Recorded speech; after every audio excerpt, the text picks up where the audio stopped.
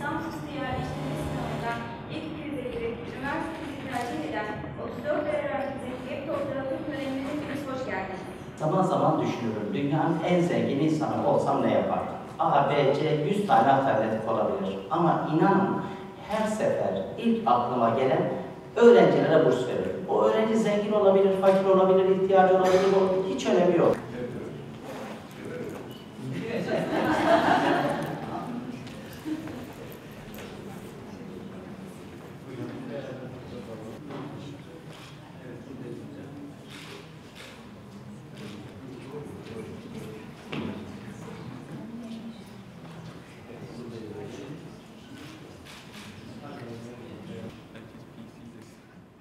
ちょっ